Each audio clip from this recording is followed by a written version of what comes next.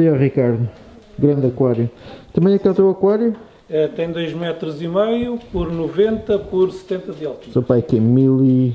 Volta de 1300 litros de água com a circulação que, da SAMP.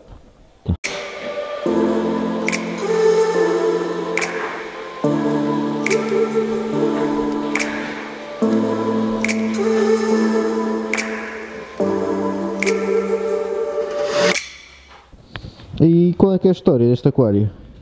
Este aquário nasceu há cerca de 20 anos, não neste, neste local, mas todo, todo ele começou por uma brincadeira com os miúdos da escola.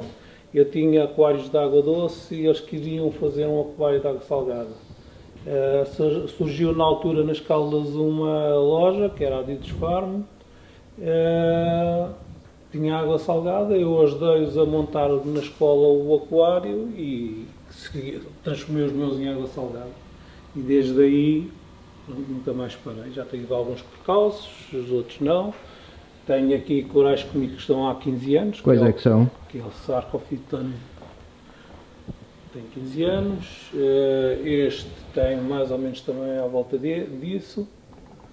Pronto, e tu, todos os outros são propagações que vieram de há 15 anos. Este, e que aquele peixe palhaço está gigante. Este preto está lindíssimo. Isto parecendo não, é gigante este aquário.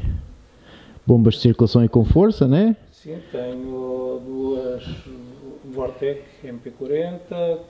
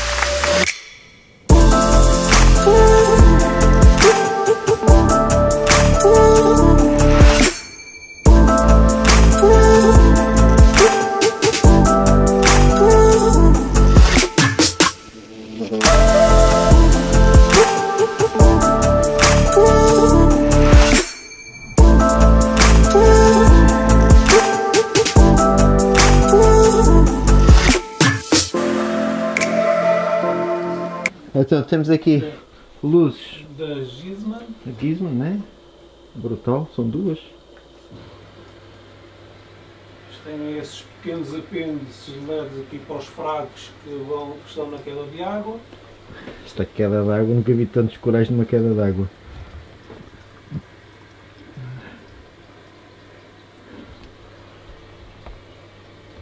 Depois, circulação são de, circulação são da acho que é Jabon de 1200 litros. Ah, tens aqui a Jair, né? Sim. E temos as, as Ecotec Quiet Drive. Brutal. E depois isto aqui vai lá para baixo. Sim, vai. Tudo isto desce para o piso inferior da, da casa. Então vamos, vamos lá abaixo.